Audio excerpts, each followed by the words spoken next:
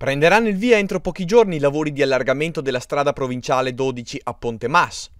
L'opera nel tratto in comune di Sospirolo, compreso tra il ponte e la sede del club della Bozza, verrà eseguita in due stralci da Veneto Strade e ammonta a circa 700.000 euro stanziati dalla provincia.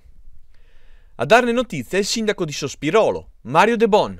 Diciamo che a brevissimo, le notizie che ci arrivano, che a brevissimo inizieranno i lavori di questo fantomatico allargamento che doveva partire subito dopo il, um, rifacimento di, del ponte del Mas che però per una serie di lungaggini soprattutto collegate al Covid eh, siamo arrivati adesso insomma. Però io ringrazio la provincia perché eh, ha anche trovato i, i notevoli soldi che mancavano per poter chiudere il, per poter chiudere il progetto e farlo completo. Dal punto di vista pratico verrà eseguito un ampliamento della carreggiata in fase successiva. È programmata la costruzione di un marciapiede.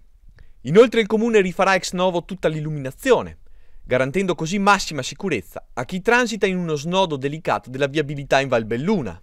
Ci sarà sicuramente qualche disagio, questo è fuori dubbio, e vedremo un attimo, visto che possiamo eh, contare anche sul fatto che c'è il ponte di Sasmus, vedremo ecco, come gestire al meglio la cosa, soprattutto per i mezzi pesanti. L'importante era avere eh, questa possibilità che finalmente eh, questo tratto eh, sia messo in sicurezza.